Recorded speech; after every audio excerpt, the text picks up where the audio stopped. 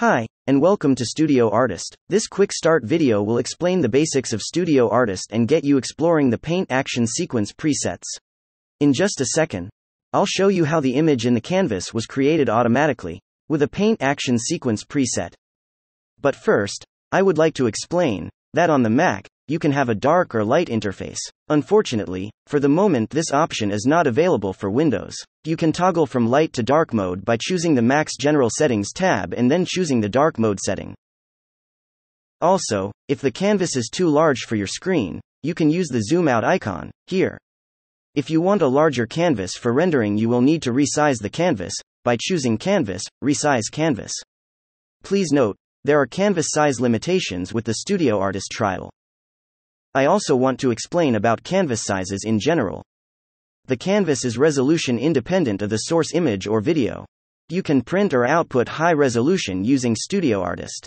But, when you are checking out presets or designing looks, you should have a resolution canvas of no more than 2K. All the presets in Studio Artist were designed using 1500 to 2K pixel size canvases. If you resize your canvas to a higher resolution than 2K, then the presets will not render as they were designed to. A rule of thumb is if you need to zoom your canvas out more than once to fit the interface, you are using a much too large canvas size and you should resize it. There is no need to use high resolution canvases when you are designing or checking out presets. When you are ready to print or output high resolution video, you will just need to rescale your paint action sequence and then re render on a high resolution canvas. There are tutorials specifically on printing and outputting video at high resolutions for you to check out when you are ready. I also want to show you how to erase the canvas using this pull down eraser. As you can see, there are several choices here.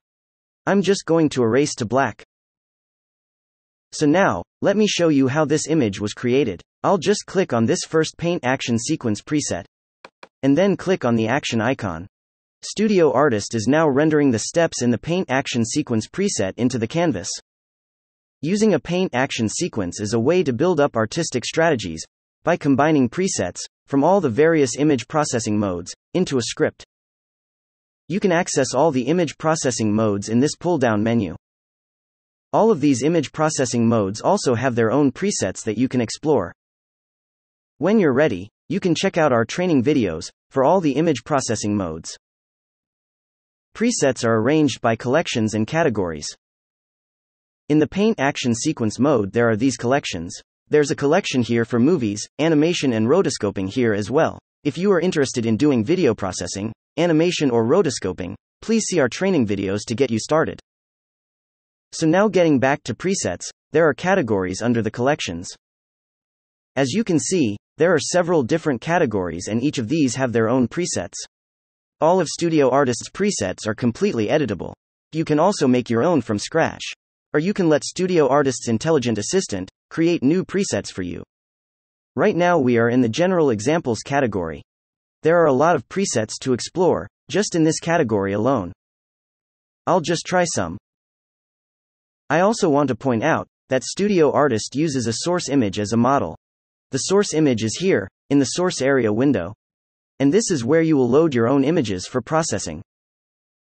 This area in the bottom right corner of the interface will let you know that Studio Artist is running.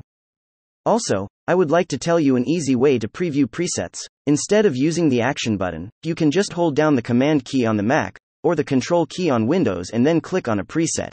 And lastly, if you want to stop a preset from playing back, just press the spacebar. I encourage you to spend some time in this general examples category so you can get an idea of the various kinds of painting and image effects Studio Artist can do.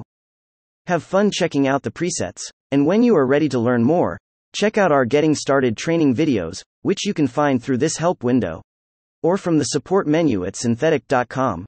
And don't forget if you have questions, please do not hesitate to contact support through our website.